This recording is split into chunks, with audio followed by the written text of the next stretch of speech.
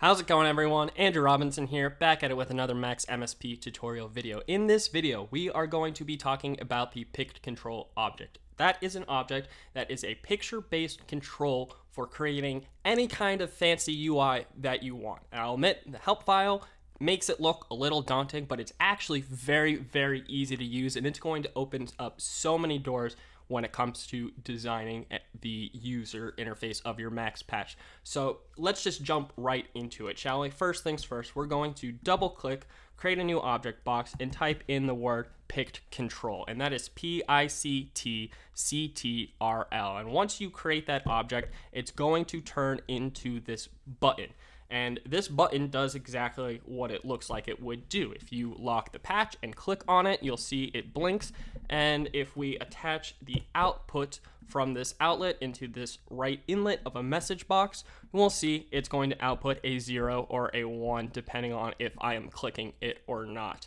And that's that's that's what this object does. It uses picture files to give you the same kind of interaction that you would come to expect from other objects that are native to Max MSP. This isn't really any different necessarily than a toggle. I'm going to create one by pressing T and you'll see that if we click on the toggle, it also outputs a zero or one. Um, the difference is it's like on a held state, whereas like as soon as I let go of this button, it's going to turn off. But that's because this is in button mode. essentially, it's just it's it is that same output, but you can control and change the image that is being used. So let's right click on this object and we're going to open up the help file for it. And you're going to see exactly what I'm talking about. There's all these images over here that are being used as these same native max controls that we're used to. You have your buttons and you see there's this purple square in that same default button look and if you click it it's the same thing one one but the image uh, appearance is different even even with this guy with this little smiley face if you click on him it's still the same uh, you get a zero or a one it's just that the image is different over here this is a dial and it's still sort of the same except you're using it as a dial but you can click it and turn it and you get the output you would expect from the dial object as well you can you can really do so much. This is a fun example where it's it's the same button type as over here. You can click it and it's a zero or a one, um, but it's you know being used in this way to animate this image instead, which is you know that's pretty fun. That's pretty cute. And this is a cute cat, um, and it's actually really easy to get this set up to work. It is all based on the dimension formats of the picture that you want to use. So if you click on this tab right here where it says picture formats, it's going to show you exactly the guide that you need to follow in order to have your picture work for this object. And I admit this is what looks very daunting. You look at this and you're like, I don't I don't get it, but it's actually very easy. If you just have an image file where the dimensions are symmetrical, it's going to auto find like these bounds that it's looking for depending on the state of the image that you're trying to use this for. So whether it's a button or a toggle or a dial, as long as you follow this guide and you have like the dimensions all properly sorted, it's going to automatically know. And this this image that we see here, like for this uh, toggle, is just showing you where in the overall image file that that image for that state needs to be. So for toggles here, you see there's this square that says not clicked value, and then you have this square that says clicked value, and then again a not clicked value but equals one and a clicked value equals one. So it would be like this is the image of it not being clicked, and then when it's in a state zero and you click on it, this is the image, and then it's going to change to the not clicked but output the one because the toggle is now on. So that would be like this X here being in this state. I'm not currently clicking on it, but it is outputting one because I clicked it into that state. Now the toggle doesn't actually have a difference in that clicked versus non-clicked look, which is something you could do if you feel like it. But I'm going to show you the difference in each state so it's more clear exactly how this is working. And I have this icon file that I used for a project recently. It is this little link icon here. And it's just a black uh, chain icon. And what I did to make this work in my project is I went into Photoshop and I I opened up the image and I saw the dimension size and then I just doubled the dimension that the image was on the x and y axis. So it's twice as long here and twice as long this direction as well. And that gives us a nice even value where this line there's this invisible line right in the middle separating each image. Um, and then I duplicated the image over four times into each nicely fitting square and I just changed the appearance of that of that image to be what I wanted it to look. So this is our not clicked value zero state. So when the output is zero and I'm not clicking on it, this is what it looks like. When you click on it, but it's still in that zero state, it's gonna get slightly darker in color. And then it turns, because you clicked on it, it turns to that state of one and that's going to have this nice clear yellow on color. And then if you were to click it again to turn it off, it's going to get slightly lighter in color because it looks like, you know, you clicked it and highlighted. And then it's going to go back to this state once you let go. And again, all I did to set this file up was I took the whatever the dimension size was of this image and I doubled it in the X and Y. So it is for it's it's got the correct bounds so that when I import it into Max, it's going to know that it's going to look for that center line and it's going to get each image exactly. And we can see exactly what that looks like when we open it up in Max. So what I have here is showing this process in action in a max patch. We have this guy image here that I took from that help file, and this is the toggle state this is the state for toggles and the guide to follow if you're trying to create a picture-based toggle. And again, that's the not clicked, clicked, not clicked one, clicked one. And we have those four squares still. This is our not clicked zero, clicked zero, not clicked one, and clicked one. And this is the image loaded in as the pict control object. So you can see I'm not clicking on it right now. It's showing this top left corner and the output is zero. I'm going to click on it. It's now changed to the top right image, but it's still outputting a zero and it's because I still have it clicked.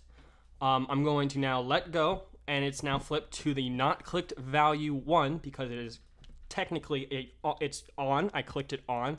So it's outputting that one and that is the image that it's showing. And again, if I were to click it off, it's going to go to that bottom right now, which is like a more highlighted look. And as soon as I let go, it's going to switch to the zero off state. And that is all that that is. I hope that that actually makes it very clear um, because it, it is really that simple. As long as you have your dimension size and you just double it and everything's lined up properly, it's very easy to use these images as toggles or whatever, and you can go ahead and make your own. Um, now you'll see there are all these other boxes, things that say like inactive value, um, and we can actually look at that in it as in in the help file. You see there's this example down here at the bottom. This is uh, showing the same thing I basically just showed. There's this image for the not clicked value zero. There's this image for the clicked value uh, zero. Then there's this for not clicked value one, which is looks like it's on. And then if you were to click it in, this is the one it would show. And then you have two extra ones for the inactive value zero and inactive value one. So if we click on the basic tab, you'll see there's this, it shows this image and we can see the same thing in action. It's in that not clicked value zero state right now. But if I click it, it shows the impressed one. And as soon as I let go, we get that one. And then if it's, if we were to click it again, turn it off, so on and so forth. But we can see there's this active message as well. And we can turn the active state, so whether it's clickable or not, on and off. And if we were to say active zero, so that it's no longer clickable, you'll see it went to that blurred out image that is also in that image file. or it's right there. And again, it's just making sure you have all the dimensions correct. So if you knew what the dimension of this icon was, let's say it's 50 by 50 pixels, you can then double the X. So it, you would make that 100 instead of 50. And then you have three rows instead. So it would be tripling the Y and that would be 150. So this would be 100 by 150. And then you would just have each icon picture image that you want to use in the correct square to line up with this guide and it, it's it's really that simple i feel like the toggle makes it the most clear but again like we can see you're also able to use dials and there's this image file of this dial turning all the way around and sure enough if you were to look at the image file for that you would see that it has 64 different frames to be this dial. And it has all these properties that you can change to to make sure that you are getting the correct look that you want and interaction that you want.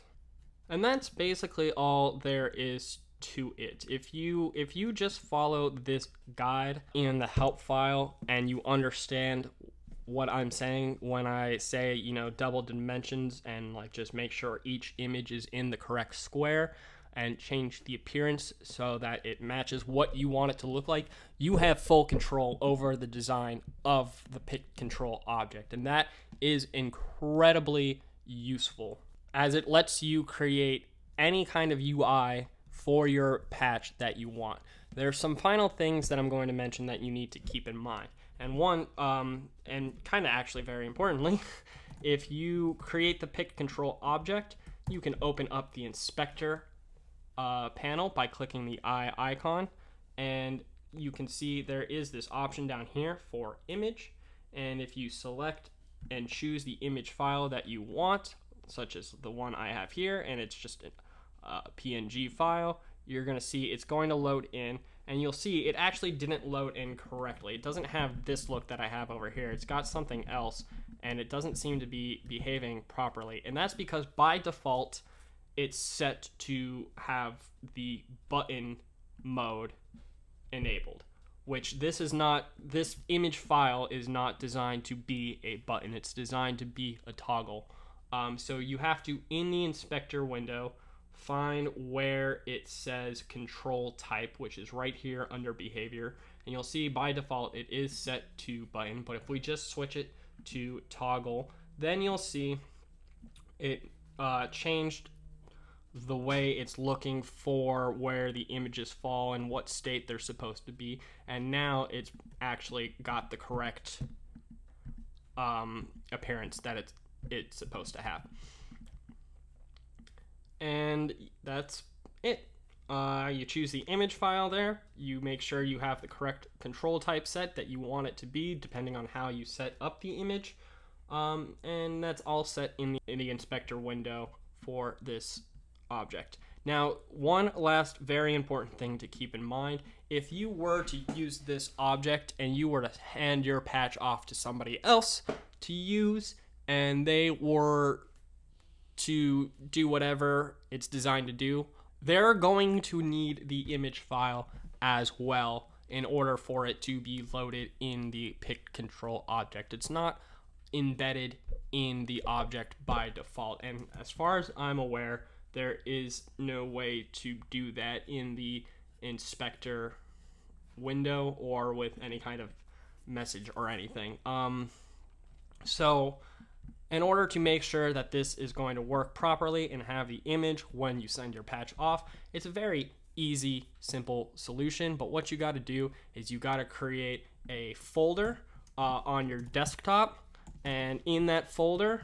you need to have the max patch and you need to have the icon image for your pict control thing. As long as both of the the patch and the image file are in the same folder and you send the whole folder off to somebody, Max is going to know where to look is going to know where to look to load the image in.